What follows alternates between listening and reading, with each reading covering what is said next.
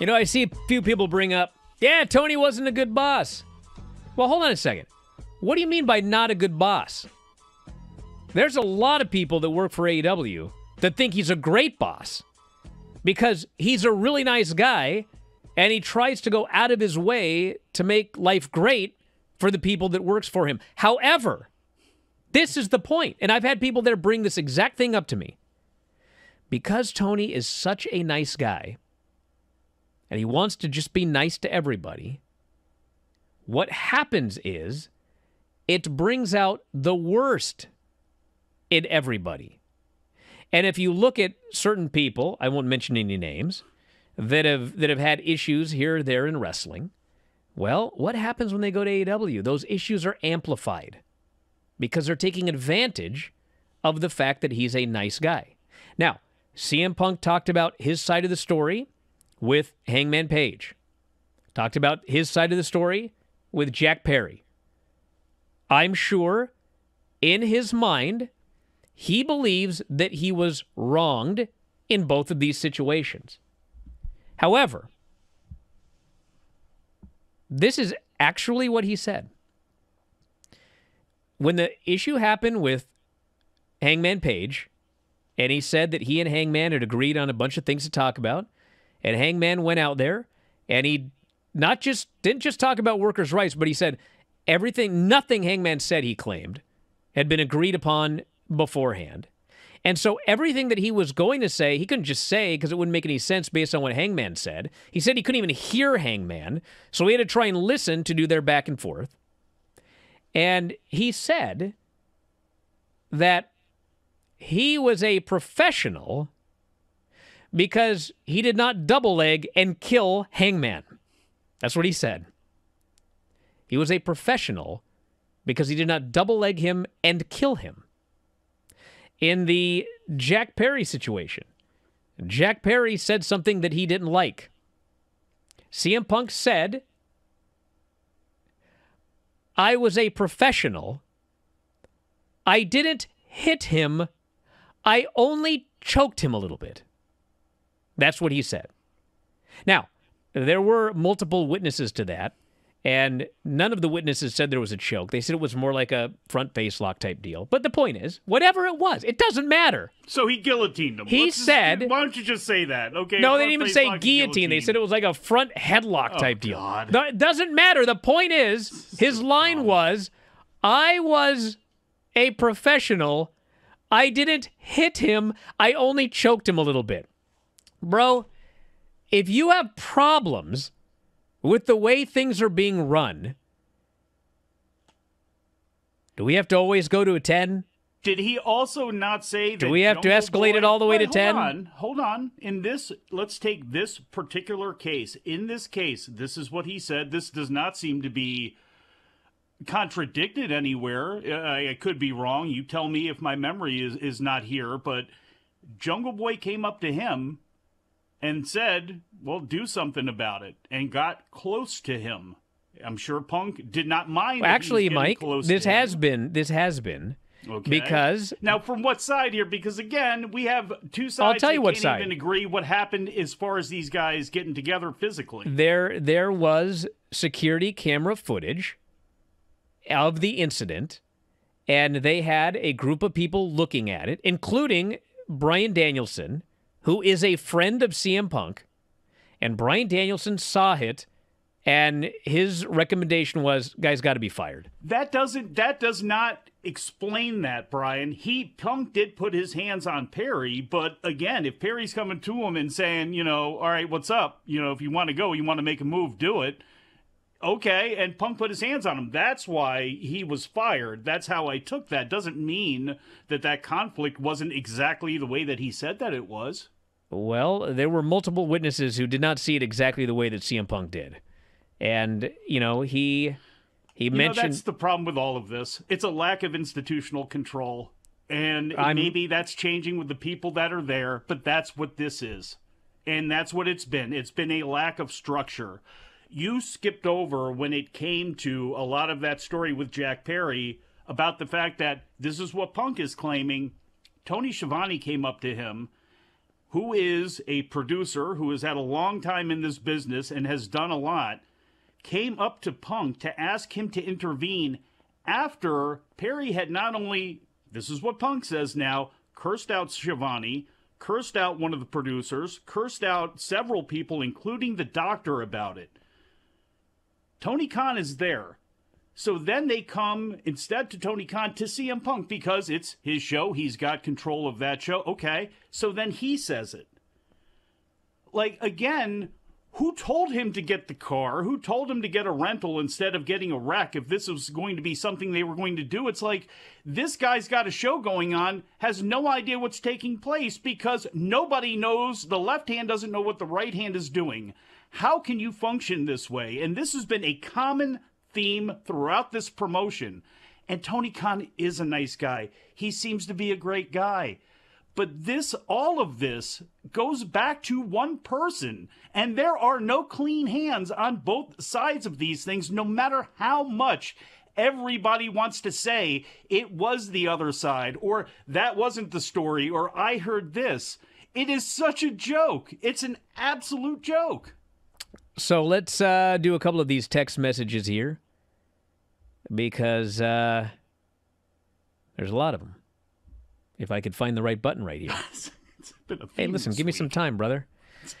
All right, let's see. Are you going to be okay while she's gone? Yeah. you know where everything is in that? All right, house? this person here, and this is a great question that I don't have an answer for, and it's actually it's another one of those things in the interview. Um, he says, "What's Punk's play by trying to insinuate his tricep injury happened in the backstage brawl and not the match. Pretty easily verified it happened during the match. He even looks at the injury and compares it to his good arm during the scrum. Just seems very petty at best. He didn't flat out say that the injury happened during the brawl and not the match, but uh, he was asked, like, did that happen during the brawl? And he just goes, and the fact of the matter is, it happened during the match. I mean, it happened during the match. Could have been made worse during the brawl. Surely. It's it's possible it was made worse during the brawl, but I mean, he you know talked to the referee during the match. You can see like all of this. He was there at the scrum. He was looking at his arm. He was hurting. I mean, I don't know why he's trying to insinuate that it happened during the brawl, but um, it didn't. So I don't know. I can't answer that question for you. Any word on reaction from people inside AEW? Well, I mean, just disappointed. I mean, he painted AEW as not a business, a clown show, an idiot running it, not making money. I mean, and the feeling there is you realize that everything was like on a great ascent until he showed up and everything was great with Punk for a while, but look at it now. Look at the decline after Brawl Out and everything that happened there and all of the issues that happened when he came back. And I mean, you know, the the whole idea that he was at that scrum, the famous scrum, where I would just like to note that the scrum began with him calling out Nick Hausman for being friends with Colt Cabana because he'd heard something which ended up being wrong. And then I didn't even know this till yesterday. Somebody on the uh, the board actually went in, went back and, and listened and everything. Punk came after me. He was angry that I had said that it was unprofessional for him to uh, I don't even remember what it was. Say say something about a hangman and and he was all angry about that. And you know when he when he brought it up I was like, "What are you talking about, dude? Like, what are you talking about? You either didn't listen or you got a clip sent to you out of context, which happens to me all the time." And then someone actually went back and guess what? The person who actually made a comment about Punk being unprofessional was actually Vinny. I never even said anything. So that was another one. He was very angry about something that he heard secondhand or whatever, and he got really angry about it. And then, you know, he goes on and on about the whole Colt Cabana thing, which I've talked about a thousand times. I never heard anything from the Young Bucks about the Colt Cabana story, nothing. And, you know, the funny thing was, and I still don't have an answer to this question, okay? By the time everybody outside of AEW was discussing this, okay? Everybody, everybody in AEW had heard this. Everybody. There was not, I, I could bet you there wasn't one person in AEW who heard, hadn't heard the, uh, the story about CM Punk and Colt Cabana and everything involving that. Okay. By the time it, a word was breathed about it on any shows, everybody in AEW knew about this. Why was CM Punk Well, so those who- insistent? but hold on, but for those Hold on, here's my question. I just got one was, question. though. I just got one question. Why was CM Punk so insistent that it must have been the EVPs that told Dave and I when everybody there knew that story? Everybody there was talking about it. Why did he presume it must have been them? Well, what is the story for those people who don't know specifically when it comes to that case? Well, what it was, and this was exactly how I reported. I never said it happened. I said the reason that people are upset in AEW is they believe that when CM Punk showed up, Colt Cabana ended up being fired, and then the Young Bucks got him rehired in Ring of Honor. That was the story. Everybody in AEW heard, heard the story. Everybody in AEW was talking about the story. Most everybody believed the story. I can't say everybody, but everybody had heard that before it was ever mentioned on anybody's podcast. But Punk, for whatever reason, presumed it must have been the Young Bucks that told Dave and I. I'll do exactly what Punk did on the show.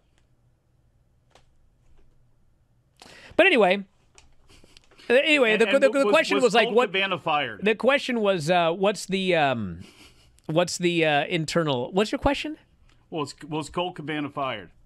Was Colt Cabana reassigned at, at at at some point? Like, where did that energy come from? And build to a point where Hangman did that on national TV. That still is a question that lingers out there because Punk is saying unequivocally he did not try to get him fired and was not fired, but that feeling was there.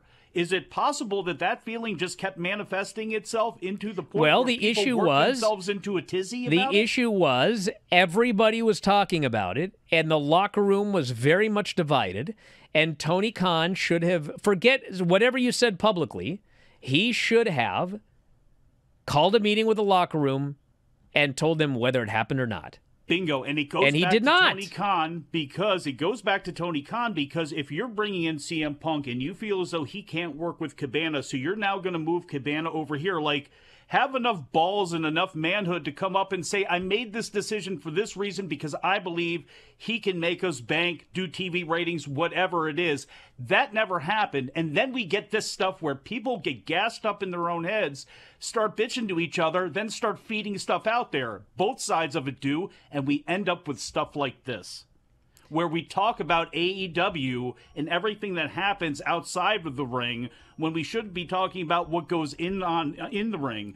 And that's been multiple times, whether it be MJF trying to do his work and all that nonsense, any of this stuff. It's again, yeah, hopefully with this new structure, it is fixed, but it goes back every time to one guy. One guy. Back in a moment, Observer Live. Hey, if you love this clip, have I got a deal for you? WrestlingObserver.com. Do you have a commute? Do you work out at the gym? Do you like listening to audio on your headphones or your earbuds or whatever the kids use today? Well, WrestlingObserver.com will give you all the audio you'll ever need in your life over 15,000 audio shows. Every audio show that we have ever done, dating back to 2005, is available for subscribers at WrestlingObserver.com. Every time a new show comes out, you can podcast it directly to your phone. If you have a commute, as noted, if you go to the gym, if you like to lift weights and listen to Granny review soap operas, well, WrestlingObserver.com gets you full access to all of these shows and all of these archives. You can go back and listen to TNA reviews from 2010. You can go back and listen to reviews of every WWE pay per view, every big story that's ever happened in wrestling. You can get access to that at WrestlingObserver.com. Plus, Full access to the Wrestling Observer newsletter every week. 40,000 words of news and information in pro wrestling. Why get all your scoops off Reddit, which aren't even accurate most of the time? Go right to the source, the Wrestling Observer newsletter. You also get Observer archives dating back to 1990. So check it out today. Thousands of issues of the Wrestling Observer newsletter, tens of thousands of hours of audio, all for $12.99 per month or as low as $9.99 if you sign up for a year. You'll never, you'll never run out of audio if you subscribe to WrestlingObserver.com. So head up there, check it out today, and I'll talk to you again after a while.